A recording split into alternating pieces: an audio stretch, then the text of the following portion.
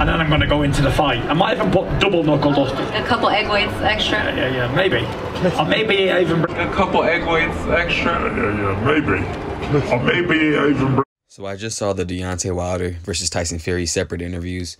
Um, Tyson Fury says he's gonna knock him out. Deontay Wilder saying he's gonna knock him out. You know, no more normal boxing t- trash talk. But one thing I did notice also was the bias that the boxing media has um, towards Tyson Fury. Like you can clearly tell who they want to win this fight.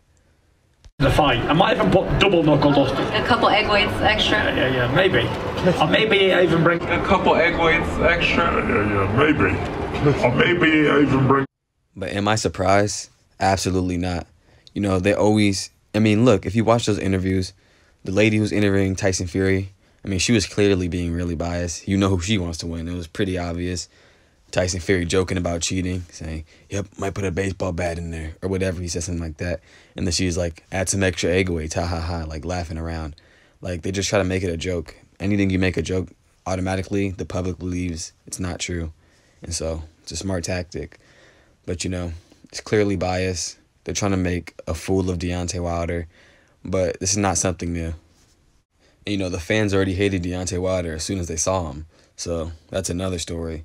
But you guys can act like, well, everybody's only clowning him because the glove accusations. He lost to Tyson Fury, but you guys been you've been clowning him for the longest. When he lost to Tyson Fury, it wasn't just about the gloves. Before anything was even said, you could find comments saying, "Oh, imagine losing in Black History Month. Oh, Black History Month's over early.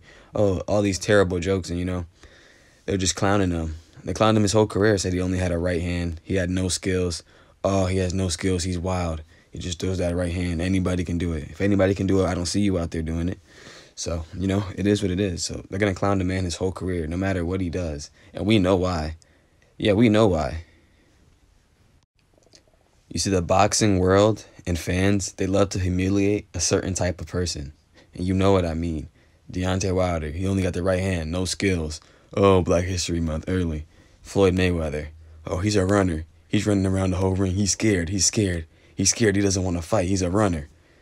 And that's why I'm so glad I made this YouTube channel because it helped me realize so much things about the world and about the world's true colors and how people actually act when, you know, there's not a camera on them, when there's not eyes on them. The true personality of people when they type things in the comments. So, you know, I knew the boxing world was already racist, but as soon as I made this YouTube channel, I was making videos about a lot of black fighters. And then I could see so much racist comments like every week, and it gets more ridiculous and more ridiculous. I could just I just don't understand it, but that's just how the world is. But I do know why. But that's a different story for a different time. But you know, I'm not gonna sit here and cry about Tyson Fury getting all the love from the fan and the boxing media because it's no surprise to me. We knew they were gonna be biased towards him anyway. But I'm rocking my boy Deontay Wilder. But let's actually talk about the fight. So I think Tyson Fury is gonna come out with the same game plan he did in the second fight. He's gonna try to come forward and just come straight at him and throw them hands. But I think Deontay Wilder's gonna make the adjustments. He's gonna avoid letting him clinch up with him as much, letting him hit him in the back of the head. He's gonna close off the ring, hit him with some body shots.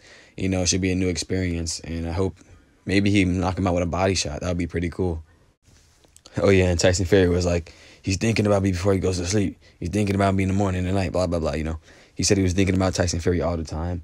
But you know, that could be a good thing, and I actually do agree with that statement. Not to the extent that Tyson Fury was saying, because he's obviously being sarcastic and joking. But I think Deontay Wilder is really locked in for this fight. He, he's there for something to prove. He's there for something to prove with nothing to lose. So, you know, that's the difference. I think Tyson Fury has a little more comfortability because of his last fight. But I think Tyson, um, Deontay Wilder, he's straight going for the kill because he needs this win. And I think that drives people to a new level when they need something, when they're fighting for something important. And I think that's what's going to give Deontay Wilder the edge in this fight. And he's going to upset a lot of people. But what I'm excited about the most is seeing the new and improved Deontay Wilder. You know, I'm excited to see him like actually in the ring, use some skills, and execute the game plan. On the pads, it looks like his speed has gotten better. I saw that clip of him sparring, wobbled the dude with that um, big right hand. You know, I seen some pictures from sparring where he's throwing body shots. So this should be really interesting. You know, let the better man win, like I said last video. And I think Deontay Wilder will be that better man. Thanks for watching the video. Hit the like, hit the subscribe. JPJ the Great, and I'm checking out.